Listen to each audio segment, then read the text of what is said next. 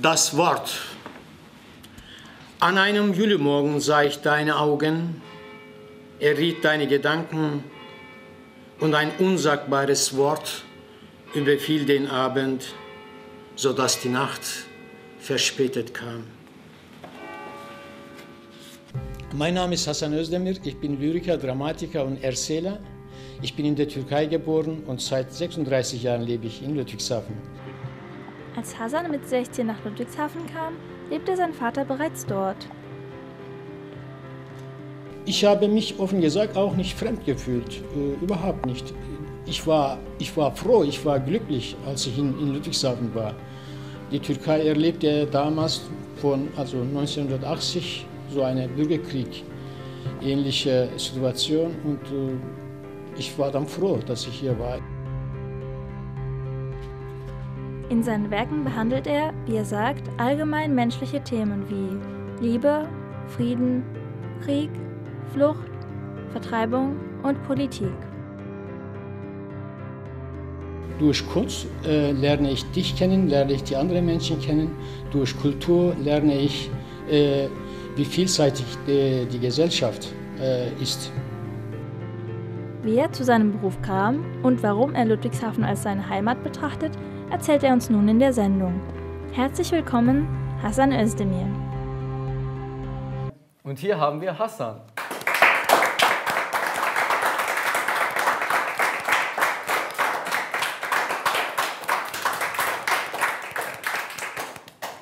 Hallo.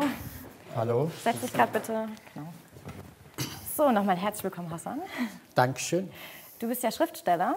Ja, Schreibst du eigentlich mit Schreibmaschine oder handschriftlich? handschriftlich. Und äh, wir haben ja gesehen, du schreibst auch ab und zu in so einem Turm. Deshalb handschriftlich oder? Nee, nee, das hat damit nichts zu tun. Ähm, Ich äh, liebe, wenn ich meine Texte handschriftlich sehen kann. Äh, Es ist so- sozusagen eine ursprüngliche äh, Sache. Okay, also es ist dann auch einfach fürs Auge schöner, wenn Sie das dann nochmal Ja, sehen. wenn man auch die Schrift, Handschrift sieht. Genau, Das ist okay. viel schöner natürlich. Das machst du dann aber mit Kuli, nicht wie schön romantisch auf dem Tour mit einer Feder und Tusche. Nein, also natürlich mit dem Kuli. Manchmal mit dem Bleistift. Okay. Ähm, und nun möchten wir einen weiteren Künstler vorstellen, dem es auch wichtig ist, das Leben festzuhalten.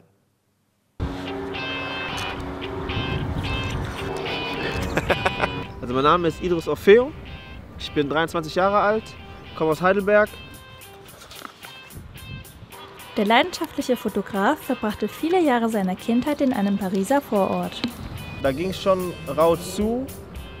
Ich selber komme aus der Nähe von der Fasanerie, da ging es vor ein paar zehn Jahren auch rau zu so.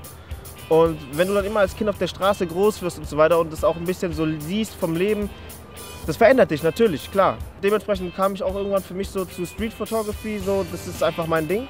Das finde ich cool. Klar, ich mache auch andere Sachen, weil die machen auch Spaß. Ich lasse mich da auch nicht nur auf eine Sache begrenzen. Aber doch so das echte Leben festhalten hat sich da für mich so rauskristallisiert.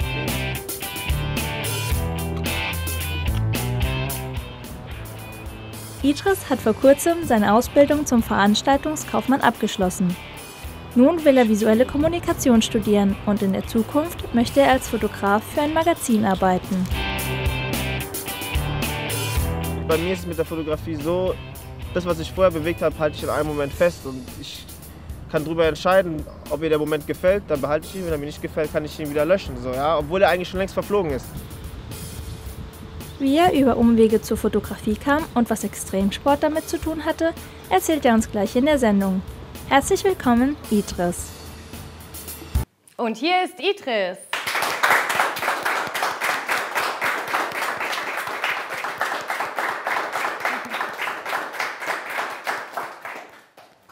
Hallo. Hi. Hallo. Hallo Idris. So, Idris, wie geht's dir? Gut hergefunden? Sehr gut sogar. Ludwigshafen ist zwar ein bisschen immer versteckt, die Ecken, wo man hin muss, aber man findet es. Das ist gut. Ähm, was hast du denn für Extremsportarten ausgeübt und ähm, welchen Zusammenhang haben diese mit deinen Bildern? Also ich habe eigentlich alles gemacht, was irgendwie relativ schnell ist. Inline fahren, Skateboard fahren, Snowboard fahren, aber alles mit diesen ganzen Tricksachen. Ja, dementsprechend wurde es auch dann zum Extremsport einfach.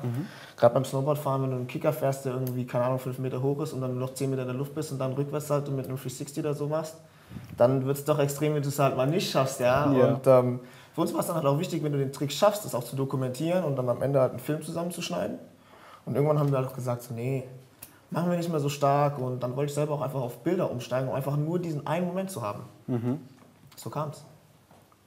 Auch wenn man ähm, jetzt, äh, wenn man ähm, zum Beispiel jetzt äh, das, äh, den Trick nicht mehr so gut schafft, Ja. dann hast du das ja auch dokumentiert, dann konnte man sich ja Natürlich. verbessern. Ne? Richtig. Dann Okay. siehst du natürlich auch gleich, wo sind deine Fehler und Stärken und dann wird das beim ist nächsten Mal hoffentlich super. besser. Ja. Ja. Und äh, Idris, du hast ja auch im Einspieler gesagt, dass du die Möglichkeit hast, die Momente dann zu löschen. Darauf greifst du bestimmt auch ab und zu mal zurück, oder? Hin und wieder passiert das tatsächlich, ja.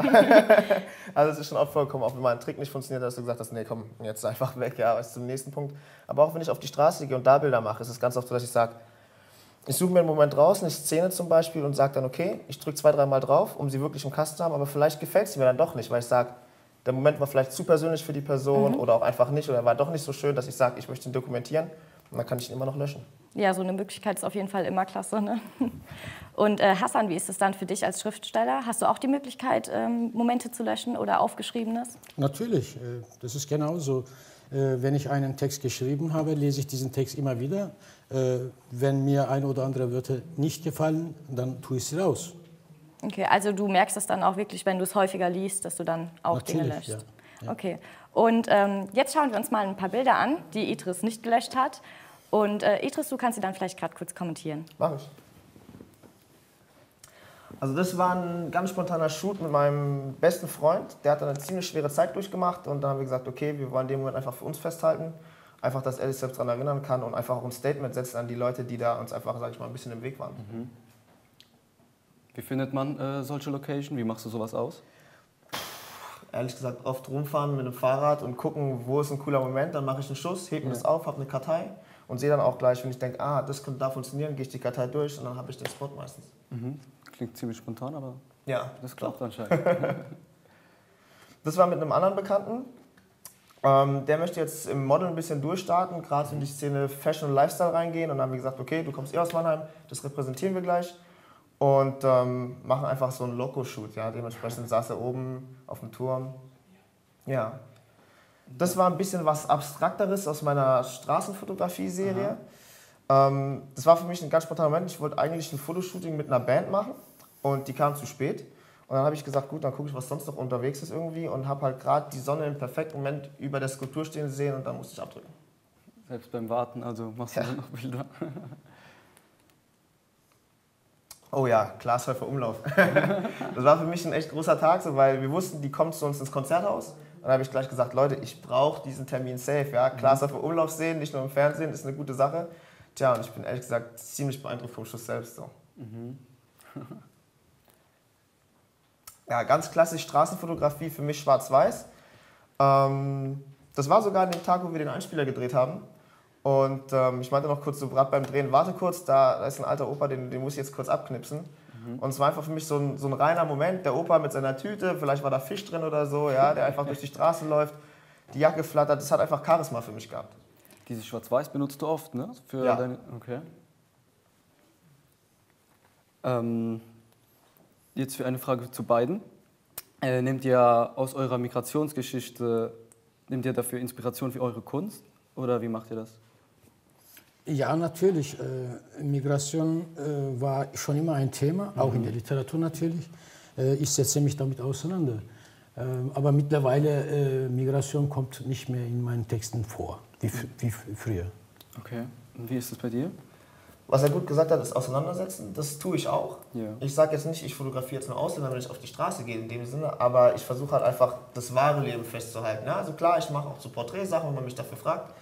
Aber so wie mit dem großalten Mann zum Beispiel, war es für mich einfach so, das war ein echter Moment in der Straße. Der wurde bestimmt nicht in irgendeiner Penthouse-Wohnung, ja. Das hast du einfach in den Klamotten gesehen. Und das festzuhalten, war für mich einfach so ehrlich. So ein Wow-Effekt. Ja, ja trifft schon. Okay. So, jetzt haben wir ja ein kleines Spiel für euch vorbereitet. Und zwar Luan und Kai, äh, die sind jetzt da drüben und wir würden, uns dann, äh, wir würden euch dann bitten, rüber zu gehen. Vielen Dank, dass ihr da wart. Danke. Dankeschön. Gutes Gelingen, viel Spaß. Danke.